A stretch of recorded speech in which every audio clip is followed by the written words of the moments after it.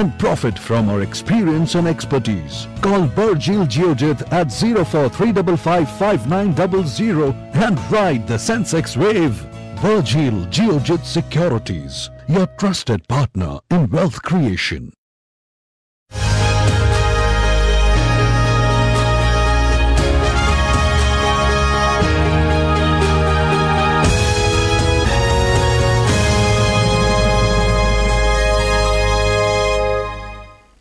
നമസ്കാരം യുവമണിയുടെ പുതിയൊരു എപ്പിസോഡിലേക്ക് സ്വാഗതം. നമ്മുടെ കൂടെ ഇന്ന് യുവമണിയിൽ ഗസ്റ്റ് ആയിട്ടുള്ളത് കെ വി ഷംസുദ്ദീൻ സാറാണ്.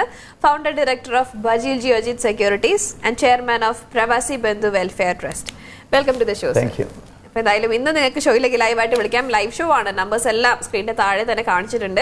വിളിച്ചിട്ട് എന്തെങ്കിലും ഫിനാൻഷ്യൽ പ്ലാനിങ്ങിനെ കുറിച്ചുള്ള ഡൗട്ട്സ് ഉണ്ടെങ്കിൽ സാറിനോട് തന്നെ ഡയറക്റ്റ് ആയിട്ട് ചോദിക്കാവുന്നതാണ്. അപ്പോൾ അരമണിക്കൂർ എന്തായാലും സാർ നമ്മുടെ കൂടെ നിങ്ങളുടെ ഡൗട്ട്സ് ക്ലാരിഫൈ ചെയ്യാനായിട്ട് ലൈവിൽ ഉണ്ടായിരിക്കും. അപ്പോൾ എന്തായാലും സാർ നമ്മൾ ഇന്നൊരു ഇമ്പോർട്ടന്റ് കാര്യം തന്നെയാണ് ഡിസ്കസ് ചെയ്യാൻ ഉദ്ദേശിക്കുന്നത്. എന്താണ് പറയുന്നത് പ്രേക്ഷകരോട്? രണ്ടായിരത്തി പതിനെട്ട് സെപ്റ്റംബർ പതിനാറാം തീയതി എന്ന് പറയുന്ന ദിവസം പ്രവാസികളായിട്ടുള്ള യു എയിൽ ജീവിക്കുന്ന ആളുകൾക്ക് ഏറ്റവും സന്തോഷം ഉണ്ടായ ഒരു ദിവസമാണ്.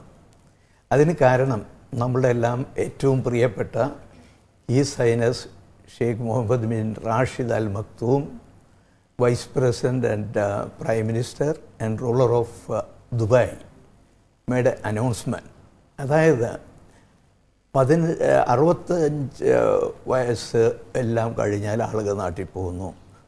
അല്ലെങ്കിൽ അറുപത് വയസ്സ് കഴിഞ്ഞാൽ നാട്ടിൽ പോകുന്നു. പക്ഷെ അമ്പത്തഞ്ച് വയസ്സ് കഴിഞ്ഞ് ഇവിടെ ജോലി ചെയ്യുന്ന ആളുകൾ ജോലിയിൽ നിന്ന് റിട്ടയർ ചെയ്താൽ പോലും അവർക്ക് അഞ്ച് വർഷത്തെ പെർമനന്റ് വിസ കൊടുക്കാമെന്നും ആ വിസ അഞ്ച് വർഷം കഴിഞ്ഞാൽ പുതുക്കി കൊടുക്കാമെന്നുള്ള അനൗൺസ്മെന്റാണ് ഈ അനൗൺസ്മെന്റ് എന്ന് പറഞ്ഞാൽ ഇവിടെ ജീവിച്ച പ്രവാസികളെ സംബന്ധിച്ച് വളരെ പ്രധാനപ്പെട്ട ഒരു കാര്യമാണ്. അതിലൂടെ ഉണ്ടാവാൻ പോകുന്നത് ഈ നാടിന്റെ നാനാവിധത്തിലുള്ള എക്കോണമി വളരെയധികം ബൂസ്റ്റ് ചെയ്യാനുള്ള ഒരു സാഹചര്യമാണ് അതുകൊണ്ടുണ്ടായിട്ടുള്ളത് അതിന് ചില ക്രൈറ്റീരിയ ഉണ്ട്. ഒന്നുകിൽ ഈ വ്യക്തിക്ക് രണ്ട് മില്യൺ വിലയുള്ള പ്രോപ്പർട്ടി ഉണ്ടായിരിക്കണം. അതല്ലെങ്കിൽ ഒരു മില്യന്റെ ഡെപ്പോസിറ്റ് ഉണ്ടായിരിക്കണം. അതുമല്ലെങ്കിൽ മന്ത്ലി ഇരുപതിനായിരം ഉറുപ്പിയ ഇങ് ദർഹം ഇരുപതിനായിരം ദർഹം ഇൻകം ഉണ്ടായിരിക്കണം.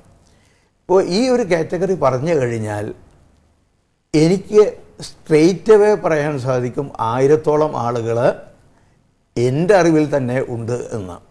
അപ്പോൾ ഇങ്ങനെയുള്ള ആളുകൾക്കെല്ലാം ഇവിടെ തന്നെ നിൽക്കണം എന്ന് ആഗ്രഹമുണ്ടെങ്കിൽ സുവർണാവസരമാണ്.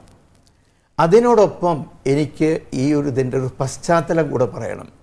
പ്രത്യേകിച്ചും മലയാളികളുമായിട്ട് അടുത്ത ബന്ധമുള്ളതുകൊണ്ടും ഇത്രയും നാൽപ്പത്തെട്ട് വർഷം ഇവിടെ ജീവിച്ചതുകൊണ്ടും എന്റെ പ്രായത്തിൽപ്പെട്ട ആയിരക്കണക്കിന് ആളുകൾ നാട്ടിലെ പോയി സ്ഥിരതാമസമാക്കിയതുകൊണ്ടും അവർക്കുണ്ടാകുന്ന ഏകാന്തത വളരെ വലുതാണ് അവരുടെ മക്കൾ പലരും നന്നായിട്ട് പഠിപ്പിച്ചു.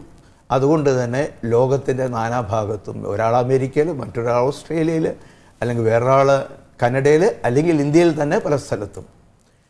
അതേസമയം ഇന്ന് കേരളത്തിന്റെ സാഹചര്യം എന്ന് പറഞ്ഞാൽ സമീപത്ത് മുഴുവൻ മലയാളികൾ മാത്രമുള്ള ഒരു അന്തരീക്ഷമല്ല ഉള്ളത്.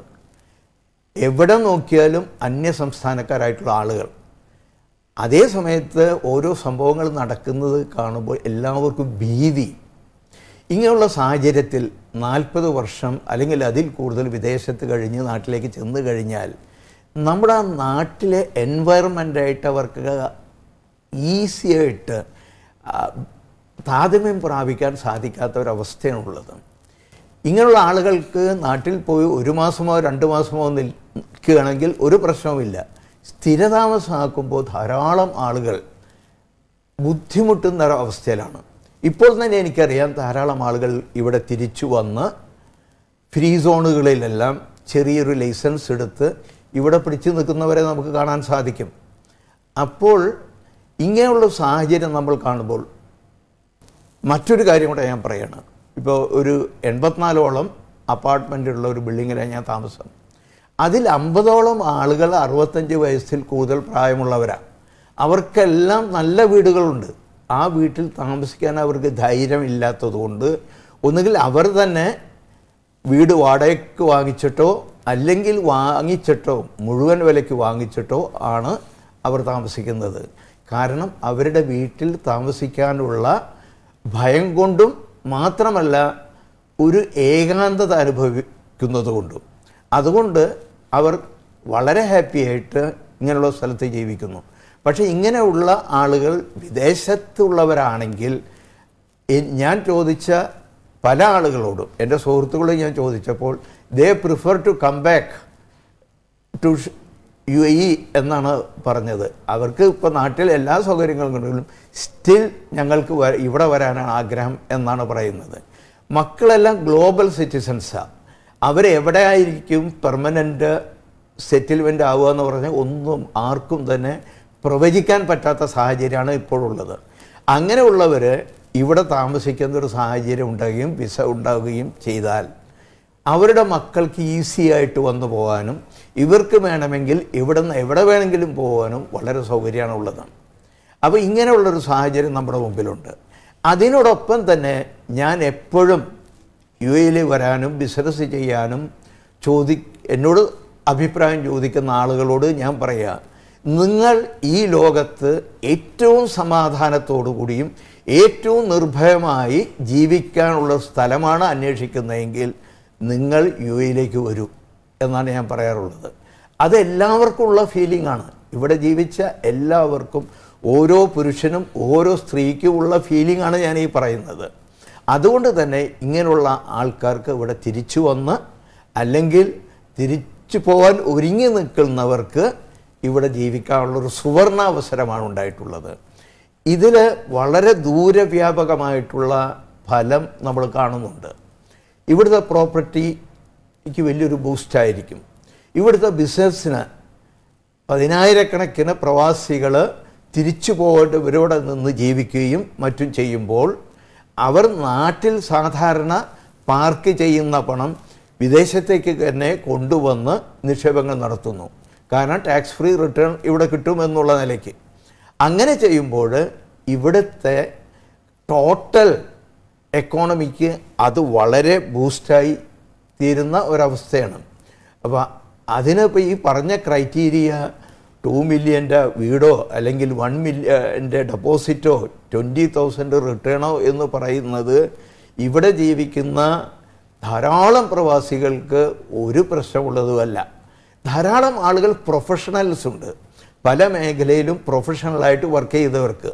പക്ഷെ അവർക്ക് നേരത്തെ ഉണ്ടായിരുന്നത് ഒരു പ്രത്യേക പ്രായമെത്തിയ നാട്ടിൽ പോകണം എന്നുള്ളതാണ് പക്ഷെ ഒരു പ്രൊഫഷണലിനെ സംബന്ധിച്ച് അവരുടെ ജീവിതകാലം മുഴുവൻ അവരുടെ പ്രൊഫഷണൽ സ്കിൽ മറ്റുള്ളവർക്ക് ഷെയർ ചെയ്യാവുന്നതാണ്. അങ്ങനെയുള്ള സാഹചര്യത്തിൽ ഈ അത്തരത്തിൽപ്പെട്ട ആളുകൾക്ക് മുഴുവൻ ഇവിടെ ജീവിച്ചുകൊണ്ട് നല്ലൊരു ഇൻകം കിട്ടി ജീവിക്കാനുള്ള അവസരമാണ് ഇതുകൊണ്ട് ഒരുക്കിയിട്ടുള്ളത്. മറ്റൊരു പ്രധാനപ്പെട്ട കാര്യം എന്ന് പറഞ്ഞാൽ ഈ ഇവിടുത്തെ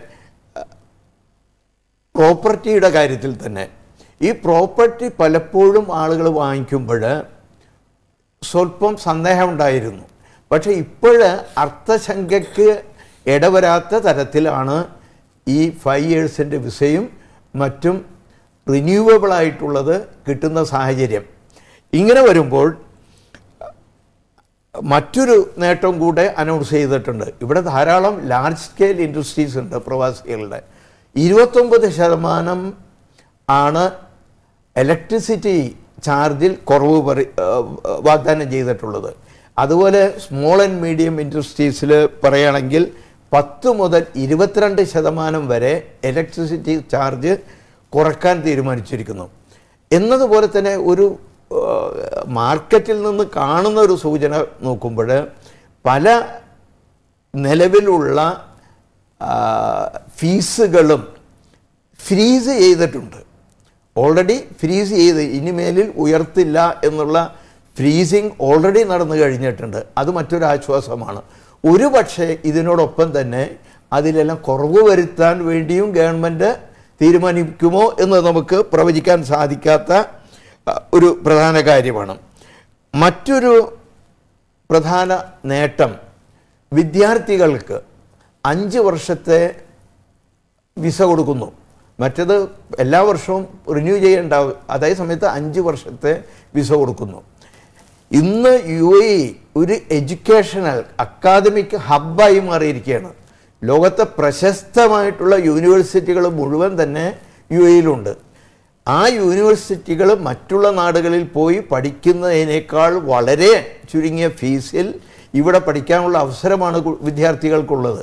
അതുമാത്രമല്ല ഇവിടെയുള്ള ധാരാളം വിദ്യാലയങ്ങൾ സ്കൂളുകളിൽ അവരുടെ പഠനശേഷം അവർക്ക് പേരൻസ് ഇല്ലെങ്കിൽ പോലും ഇവിടെ നിന്ന് പഠിക്കാനുള്ള ഒരു അവസരമാണ് കൊടുത്തിട്ട് ഉള്ളത് അഞ്ച് വർഷത്തെ വിസവും അതേസമയം ഗ്രാജുവേറ്റ് പോസ്റ്റ് ഗ്രാജുവേറ്റും ആയിട്ടുള്ള ആളുകൾക്ക് പത്ത് വർഷത്തെ വിസയും കിട്ടാനുള്ള സാഹചര്യമാണ് ഒരുക്കിയിട്ടുള്ളത്.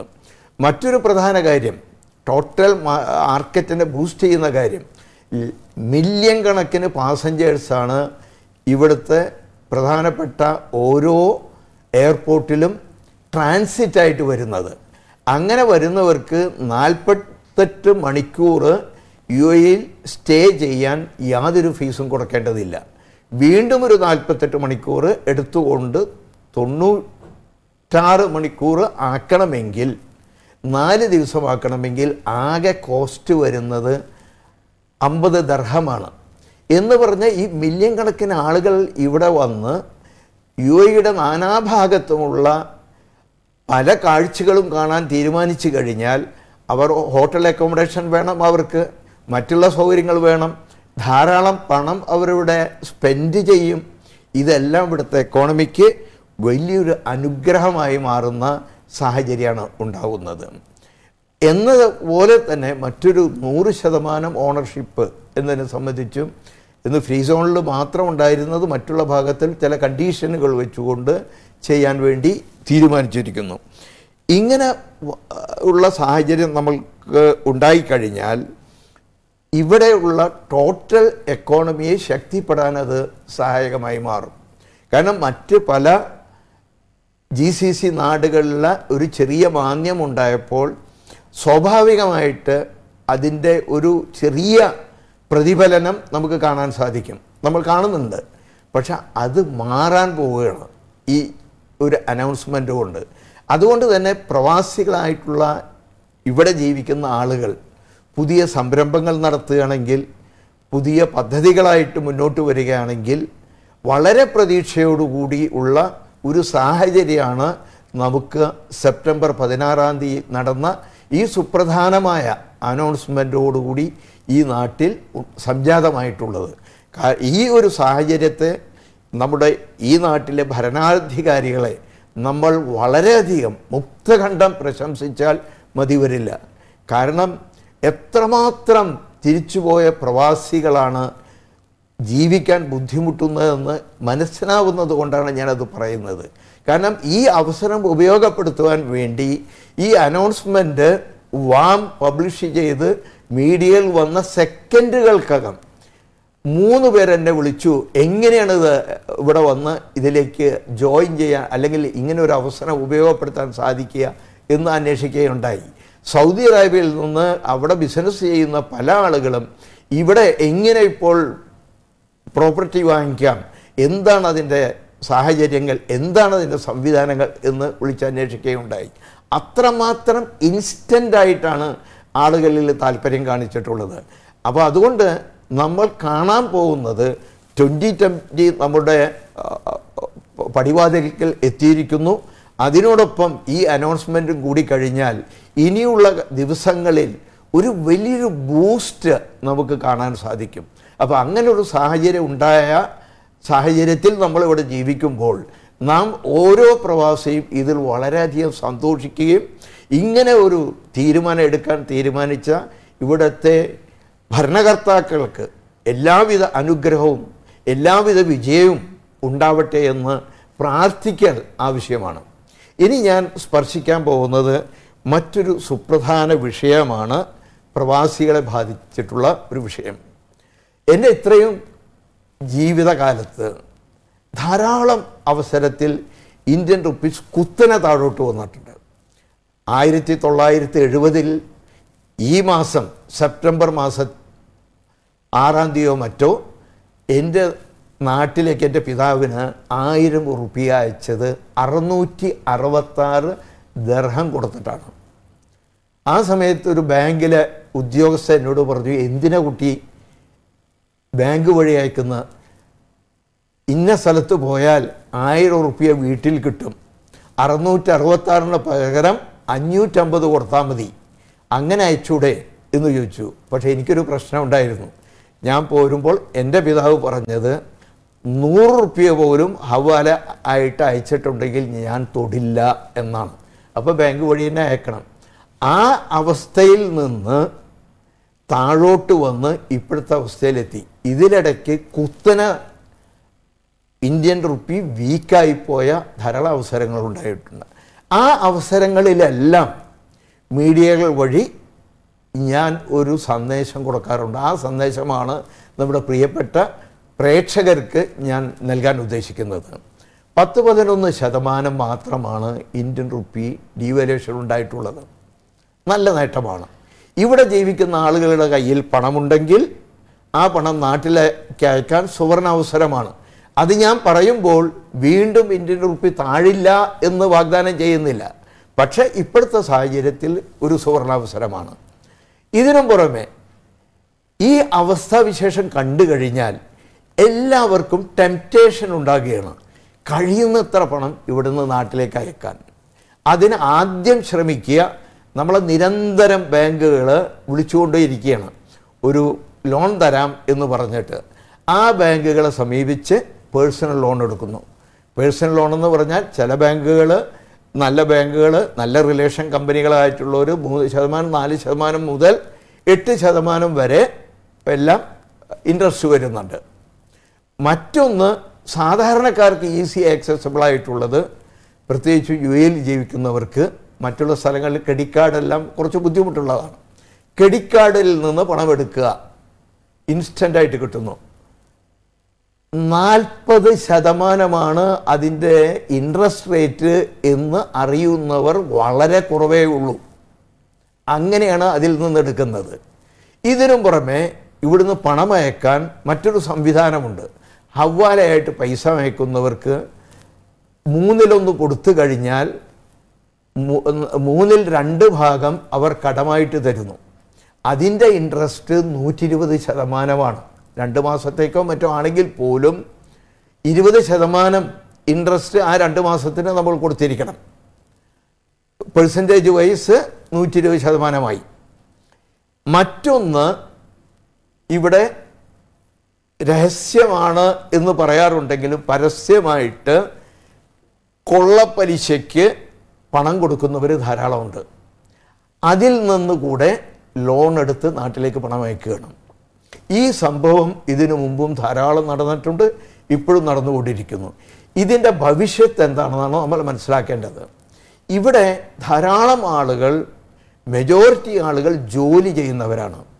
ജോലി എത്രമാത്രം സുരക്ഷിതമാണ് എന്ന് ഒരാൾക്കും പ്രവചിക്കാൻ സാധിക്കില്ല. ഇങ്ങനൊരു ലോൺ എടുത്തതിന് ശേഷം ജോലി അങ്ങ് നഷ്ടപ്പെടുന്ന ഒരു സാഹചര്യം ഉണ്ടായിക്കഴിഞ്ഞാൽ എന്താണ് സംഭവിക്കാൻ പോകുന്നത്? ഉടനെ നമ്മൾ ലോൺ എടുത്തിട്ടുണ്ടെങ്കിൽ ബാങ്കിന് മനസ്സിലാവുന്നു. കാരണം നമ്മുടെ ഗ്രാറ്റുവിറ്റി ചിലപ്പോൾ ബാങ്കിൽ വരുന്നു. ഇയാളുടെ ജോലി നഷ്ടപ്പെട്ടു എന്ന്. അങ്ങനെ ചെയ്തു കഴിഞ്ഞാൽ ഉടനെ കസ്റ്റമറെ വിളിക്കുന്നു. ദാ നിങ്ങളുടെ അവസ്ഥയാണ്. ഞങ്ങൾക്ക് ഉടനെ പേയ്മെന്റ് വേണം.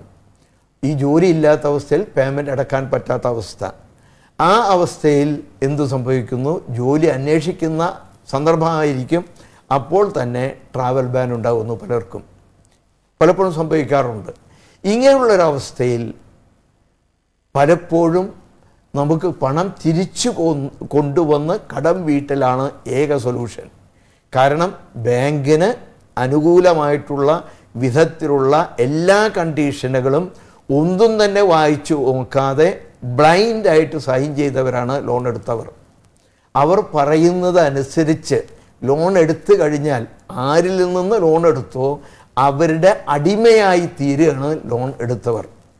ഇങ്ങനെയുള്ള സാഹചര്യം വന്നു കഴിഞ്ഞാൽ ഉടനെ ഈ അയക്കുന്ന ആളുകൾ പലപ്പോഴും ചെയ്യാറുള്ളത് പണമെടുത്ത് നാട്ടിലേക്ക് അയച്ചു കഴിഞ്ഞാൽ വസ്തു വാങ്ങിക്കുന്നു വീട് നിർമ്മാണത്തിന് ഉപയോഗിക്കുന്നു അല്ലെങ്കിൽ വിവാഹിതരല്ലെങ്കിൽ ഒരു അടിപൊളി വിവാഹം നടത്താൻ വേണ്ടിയിട്ട് ഉപയോഗിക്കുന്നു. ഈ പണം ഇവിടെ ആവശ്യം വരുന്ന ആ പ്രത്യേക സാഹചര്യത്തിൽ ഒരിക്കലും നമുക്ക് തിരിച്ചു കൊണ്ടുവരാൻ സാധിക്കില്ല. നമ്മളെ ഭവനം ഉണ്ടായിക്കഴിഞ്ഞിട്ടുണ്ടെങ്കിൽ തന്നെ നമുക്ക് വിൽക്കാൻ സാധിക്കുമോ? സാധ്യമല്ല. നമ്മുടെ ജീവിതത്തിലെ ഏറ്റവും വലിയ ആഗ്രഹമായിരുന്നു നമ്മുടെ സ്വന്തമായിട്ടൊരു ഭവനം ഉണ്ടാകുക എന്നുള്ളത് ഒരാളും ചെയ്യാൻ പോകുന്നില്ല. രണ്ടാമത് ഒരു വസ്തു ഉണ്ടെങ്കിൽ അതിന് വിലവർധന ഉണ്ടായിട്ടുണ്ടെങ്കിൽ പോലും അതിന്റെ ഉടമസ്ഥന് പണം ആവശ്യമുണ്ട് അത് വിൽക്കേണ്ടതാണെന്ന് മനസ്സിൽ കരുതിയിട്ടുണ്ടെങ്കിൽ ആ പ്രദേശത്തുള്ള മുഴുവൻ ബ്രോ പ്രോപ്പർട്ടി ബ്രോക്കർമാരും ആകാശത്ത് കാണുന്നത് അങ്ങനെ കണ്ടു കഴിഞ്ഞാൽ അവർ കൺസോർട്ടിയം ഉണ്ടാക്കി ഈ പ്രോപ്പർട്ടിയുടെ വില ഇടിച്ച് താഴ്ത്തി ഏറ്റവും കുറഞ്ഞ വിലയ്ക്ക് ഈ വ്യക്തിയെ കൊണ്ട് വിൽപ്പിക്കും. അങ്ങനെ ഉണ്ടായിക്കഴിഞ്ഞാൽ ഇങ്ങനെ സാഹചര്യങ്ങൾ വന്നു കഴിഞ്ഞാൽ ഈ പണം ഇവിടെ കൊണ്ടുവന്നാൽ തന്നെ എന്ത് സംഭവിക്കുമെന്ന് പറഞ്ഞാൽ നമ്മൾ മുടക്കിയ മുതലിനേക്കാൾ കുറഞ്ഞ സംഖ്യയാണ് ഇവിടെ വരുന്നത്. അതുകൊണ്ട് ഒരിക്കലും ഈസി ലിക്വിഡിറ്റി ഇല്ലാത്ത വളരെ ഈസി ആയിട്ട് പണം തിരിച്ചെടുക്കാൻ പറ്റാത്ത ഒരു മേഖലയിലും കടമെടുത്ത് നാട്ടിലേക്ക് അയ്യുന്ന പണം നിക്ഷേപിക്കാൻ പാടില്ല. അതെന്താണ് നോക്കാം. ഇപ്പോൾ ചെറിയ പലിശയ്ക്ക് ബാങ്കിൽ നിന്ന് വ്യക്തിഗതമായ ലോൺ എടുത്തതാണെങ്കിൽ തന്നെ ഫിക്സഡ് ഡെപ്പോസിറ്റാണ് നാട്ടിൽ ചെയ്യുന്നതെങ്കിൽ മൂന്ന് ശതമാനത്തിന് ലോൺ എടുത്തവർക്ക് ഏഴര ശതമാനം നാട്ടിൽ എൻ ആർ ഐ അക്കൗണ്ടിൽ നിന്ന് കിട്ടുന്നു. അങ്ങനെ കിട്ടിയാൽ തന്നെ എന്തു സംഭവിക്കുന്നു? ആ കിട്ടുന്ന പണം വീണ്ടും ഡീവാലുവേഷൻ നടന്നിട്ടുണ്ടെങ്കിൽ നമ്മളിപ്പോൾ കിട്ടിയതിനേക്കാൾ ഇന്ത്യയുടെ മൂല്യം വീണ്ടും കുറഞ്ഞിട്ടുണ്ടെങ്കിൽ ഇങ്ങോട്ട് തിരിച്ചു കൊണ്ടുവരുമ്പോൾ നമ്മൾ അയച്ചതിനേക്കാൾ കുറവേ നമുക്ക് കിട്ടുള്ളൂ. അതിനേക്കാൾ റിട്ടേൺ കിട്ടുന്ന മേഖലകൾ ചിലതുണ്ട്. മ്യൂച്വൽ ഫണ്ട് ഇങ്ങനെയുള്ളതിലൊക്കെ നിക്ഷേപിക്കുക. മ്യൂച്വൽ ഫണ്ടിൽ നിക്ഷേപിക്കുമ്പോൾ ഏറ്റവും ചുരുങ്ങിയത് പന്ത്രണ്ട് ശതമാനം കൂടിക്കഴിഞ്ഞാൽ ഇരുപത് ഇരുപത്തഞ്ച് ശതമാനം വല്ല കിട്ടും. അങ്ങനെ കിട്ടിയാൽ പോലും നാൽപ്പത് ശതമാനമോ നൂറ്റി ഇരുപത് ശതമാനമോ ഇൻട്രസ്റ്റ് കൊടുത്തുകൊണ്ട് പണമെടുത്ത് അയച്ചവർക്ക് അത്ര തന്നെ കിട്ടിയാലും നഷ്ടമാണ് സംഭവിക്കുന്നത്. എന്നാലും അതിനുള്ള ഒരു നേട്ടം എന്ന് പറഞ്ഞാൽ ഒരു പണം തിരിച്ചെടുക്കാൻ വേണ്ടി അപേക്ഷ കൊടുത്തു കഴിഞ്ഞാൽ പത്ത് ദിവസം കൊണ്ട് മാക്സിമം ആ പണം നമ്മുടെ എൻ ആർ ഇ അക്കൗണ്ടിൽ വരും. എൻ ആർ ഇ അക്കൗണ്ടിലുള്ള പണം അത് എഫ് ഡി ആണെങ്കിലും ഇങ്ങനെ വന്ന പണമാണെങ്കിലും നമ്മുടെ പെർമനന്റ് ഇമെയിൽ ഐ ഡിയിൽ നിന്ന് ഒരു ഇൻസ്ട്രക്ഷൻ കൊടുത്തു കഴിഞ്ഞാൽ നെക്സ്റ്റ് ഡേ നമ്മുടെ യു എയിലുള്ള ബാങ്ക് അക്കൗണ്ടിലേക്ക് അത് വരും എന്നുള്ളതാണ് അതിന്റെ പ്രത്യേകത. മൂന്നാമതൊരു മേഖല എന്ന് പറഞ്ഞാൽ സ്റ്റോക്ക് മാർക്കറ്റിൽ ഇൻവെസ്റ്റ് ചെയ്യലാണ്. ആ ഇൻവെസ്റ്റ് ചെയ്താലും ഒരു ഗ്യാരന്റിയും ഒരാളും തരുന്നില്ല. നിങ്ങൾ ഇന്ന സമയത്ത് എടുക്കുമ്പോൾ ഇതിന്റെ മൂല്യം ഇത്രയായിരിക്കും എന്ന്. എത്ര സൂക്ഷിച്ച് ഇൻവെസ്റ്റ് ചെയ്താലും ഇങ്ങനെയുള്ള സാഹചര്യത്തിൽ നിർബന്ധമായിട്ടാണ് നമ്മൾ പണം എടുക്കേണ്ടി വരുന്നത്. അപ്പോൾ സാധാരണ നിക്ഷേപിക്കുന്ന ആളുകളൊക്കെ സ്റ്റോക്ക് മാർക്കറ്റിലായാലും മ്യൂച്വൽ ഫണ്ടിലായാലും പണം തിരിച്ചെടുക്കുക സാമാന്യം ഭേദപ്പെട്ട റിട്ടേൺ കിട്ടിയതിന് ശേഷമാണ്. നാല് അഞ്ചോ ആറോ വർഷം കൊണ്ട് സെവൻ ഹൺഡ്രഡ് പെർസെന്റ് റിട്ടേൺ കിട്ടിയ കമ്പനികൾ ഇന്ത്യയിലുണ്ട്. പക്ഷെ അങ്ങനെയുള്ള കമ്പനികൾക്ക് ആ സമയം നോക്കിയിരുന്ന് തിരിച്ചെടുക്കുകയാണെങ്കിൽ ഇങ്ങനെയുള്ള സാഹചര്യത്തിൽ ലാഭകരമായിട്ട് പണം കിട്ടുന്ന സാഹചര്യം ഉണ്ടാവും. പക്ഷെ ആ സാഹചര്യം നോക്കിയിരിക്കാൻ ഇങ്ങനെ പണത്തിന് വളരെയധികം നിർബന്ധാവസ്ഥ നമ്മളിവിടെ ജീവിക്കുമ്പോൾ വിദേശത്തുണ്ടായ സാഹചര്യത്തിൽ സാധിക്കില്ല. കാരണം ആ സമയത്ത് ഉദാഹരണമായിട്ട് രണ്ടായിരത്തി എട്ടിന് മുമ്പ് ഇങ്ങനെ ലോൺ എടുത്തിട്ട് പോയ ഒരാളാണെങ്കിൽ രണ്ടായിരത്തി എട്ടിൽ ഇവിടെ സാമ്പത്തിക മാന്യമുണ്ടായി ധാരാളം ആളുകൾക്ക് ജോലി നഷ്ടപ്പെട്ടു. അപ്പോൾ രണ്ടായിരത്തി നാലിലായിരുന്നു ആ സമയത്ത് കാര്യമായിട്ടുള്ള ഇന്ത്യൻ റുപ്പി ഒരു ഡിപ്രിസിയേഷൻ ഉണ്ടായത്. ആ സമയത്ത് ലോൺ എടുത്ത ആളുകൾ രണ്ടായിരത്തി എട്ടിൽ ലോക സാമ്പത്തിക മാന്യം വന്നപ്പോൾ ജോലി നഷ്ടപ്പെട്ടപ്പോൾ ഈ പണം തിരിച്ച് മ്യൂച്വൽ ഫണ്ടിൽ നിന്നോ സ്റ്റോക്കിൽ നിന്നോ കൊണ്ടുവരണമെന്ന് തീരുമാനിച്ചാൽ ഇരുന്നെങ്കിൽ അല്ലെങ്കിൽ ചെയ്തിട്ടുള്ളവർക്ക് മൂന്നിൽ രണ്ട് ഭാഗം ഇറോഡ് ചെയ്ത് നഷ്ടപ്പെട്ടു പോയ അവസ്ഥയാണ് അന്ന് സംജാതമായത്. ഇതെല്ലാം ചരിത്രം നമ്മുടെ മുമ്പിലുള്ളതാണ്. അതുകൊണ്ടാണ് ഇത്രയും ചരിത്ര സംഭവങ്ങൾ നിരത്തി വെച്ചുകൊണ്ട് ഞാൻ പ്രിയപ്പെട്ട പ്രേക്ഷകരോട് ഈ പറയുന്നത്.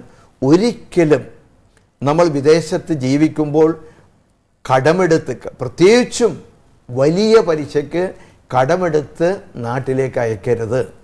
അതിൽ കടം എടുക്കുന്നത് ആണെങ്കിൽ പോലും ചെയ്യുന്നുണ്ടെങ്കിൽ പോലും പേഴ്സണൽ മാക്സിമം പേഴ്സണൽ ലോൺ ബാങ്കിൽ നിന്നെടുക്കുക. അങ്ങനെ ചെയ്യുന്നുണ്ടെങ്കിലും നമ്മുടെ ജോലി സുരക്ഷിതമാണെന്നുള്ള ഉറപ്പുള്ള ആളുകളെ അത് ചെയ്യാൻ പാടുള്ളൂ. അത് ചെയ്തു കഴിയുന്നതിന് മുമ്പ് അത് എടുക്കുന്നതിന് മുമ്പ് വ്യക്തമായിട്ടുള്ളൊരു ഹോംവർക്ക് നമ്മൾ മലയാളികൾ എല്ലാവരും വിദ്യാസമ്പന്നരാണ്. അതുകൊണ്ട് തന്നെ വ്യക്തമായിട്ടുള്ളൊരു ഹോംവർക്ക് ചെയ്യണം. ആ ഹോംവർക്ക് ചെയ്തിട്ട് ഞാൻ ഇത്ര പണം കിട്ടുന്നു. ആ പണം ഇന്ന കാര്യത്തിൽ ചെയ്തു കഴിഞ്ഞാൽ ഇങ്ങനെയാണ്. അഥവാ എനിക്ക് രണ്ട് വർഷം കഴിഞ്ഞ് ജോലി ഇഷ്ടപ്പെട്ടാൽ ഞാൻ ഇത്ര അടച്ചു തീർന്നിരിക്കും. ബാക്കി ഇത്ര ഉണ്ടാവും. അത് എങ്ങനെ അടക്കാൻ സാധിക്കും? എന്ന് എല്ലാ നാ മുന്നൂറ്ററുപത് ഡിഗ്രിയിൽ ഉള്ള ഒരു പഠനം എഴുതി ഉണ്ടാക്കിയിട്ട് ഹൺഡ്രഡ് പേഴ്സന്റും ഇതെനിക്ക് അടച്ചു തീർക്കാൻ സാധിക്കും എന്ന് ബോധ്യപ്പെട്ടാൽ മാത്രമേ ലോൺ എടുത്ത് നമ്മൾ നാട്ടിലേക്ക് പണം അയക്കാൻ പാടുള്ളൂ ഈ സാഹചര്യത്തിൽ. എപ്പോഴും നമ്മുടെ പൂർവികർ പറയും എവിടെ അമിത ലാഭമുണ്ടോ അവരുടെ അപകടം ഉണ്ട് എന്ന്. നമ്മൾ ഇന്ന് കാണുന്ന ഏറ്റവും വലിയ അപകടമാണ് ഇപ്പോൾ ഞാൻ എന്റെ പ്രിയപ്പെട്ട പ്രേക്ഷകരുടെ മുമ്പിൽ സവിസ്തരം പ്രതിപാദിച്ചിട്ടുള്ളത്. ഇതിന്റെ ലിങ്ക് കിട്ടും. അത് കിട്ടിക്കഴിഞ്ഞാൽ എന്റെ പ്രിയപ്പെട്ട പ്രേക്ഷകർ ചെയ്യേണ്ടത് കഴിയുന്നത്ര ആളുകളിലേക്ക് എത്തിക്കുക. കാരണം ഞാൻ ധാരാളം റഷ് കാണുന്നുണ്ട്. അതിനോടൊപ്പം ഒരു കാര്യം കൂടെ ഞാൻ സൂചിപ്പിക്കുകയാണ്. ചില ബാങ്കുകൾ വലിയൊരു ഔദാര്യം ചെയ്യുന്നുണ്ട് ഇപ്പോൾ നാട്ടിൽ പ്രളയമുണ്ടായതിന്റെ ഭാഗമായി ഇവിടെ ജീവിക്കുന്ന ധാരാളം ആളുകൾക്ക് നഷ്ടം സംഭവിച്ചിട്ടുണ്ട്. അങ്ങനെയുള്ളവരെ സഹായിക്കാൻ വേണ്ടി ലോൺ തരാമെന്ന് പറഞ്ഞിരിക്കുന്നു. അതിന് മറ്റൊരു കണ്ടീഷനും വെച്ചിരിക്കുന്നു. ഉദാഹരണമായിട്ട് എനിക്കൊന്നും സംഭവിച്ചിട്ടില്ല. എന്റെ സുഹൃത്തിന് വലിയൊരു നഷ്ടം സംഭവിച്ചിട്ടുണ്ടെങ്കിൽ അദ്ദേഹത്തിന് ലോൺ എടുക്കാൻ എനിക്ക് ഗ്യാരണ്ടി നൽകാം.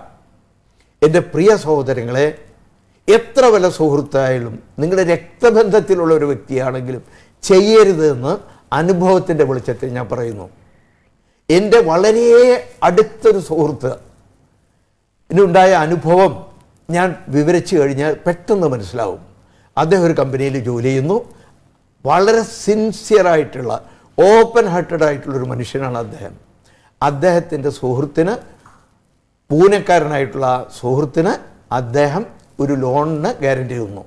രണ്ട് മാസം കഴിഞ്ഞപ്പോൾ അദ്ദേഹം ഇവിടുന്ന് റേനവേ പിന്നീടുള്ള എട്ട് വർഷം അദ്ദേഹം അധ്വാനിച്ച പണം മുഴുവൻ ഈ ലോൺ വീട്ടാൻ കൊടുക്കേണ്ടി വന്നു.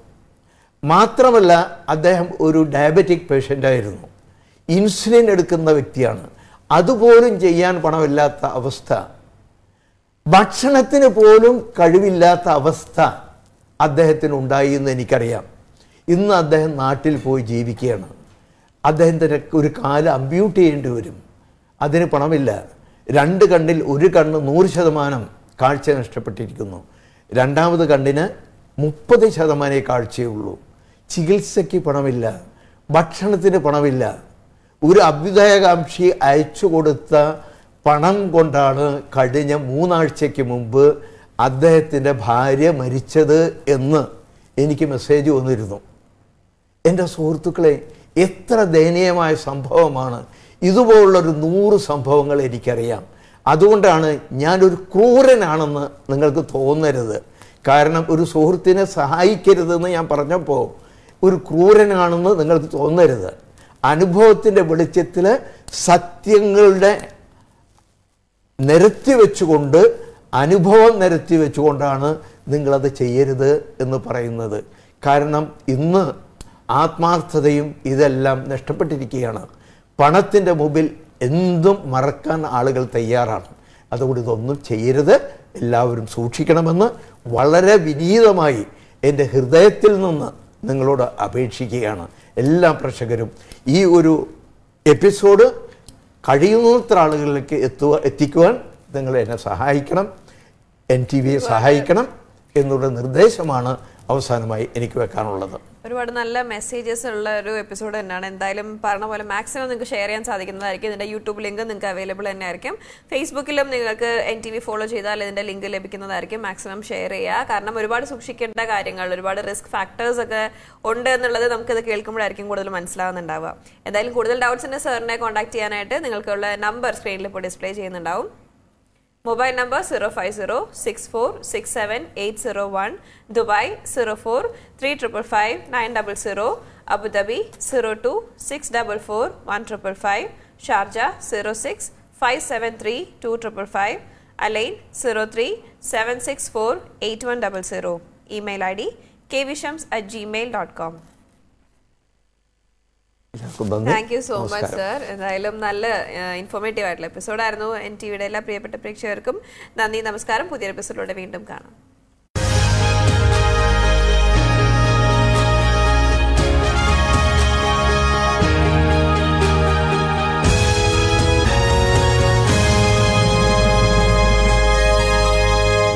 Economic awakening of India. Now is the right time to invest in India in equities and mutual funds. Call Burjil today and set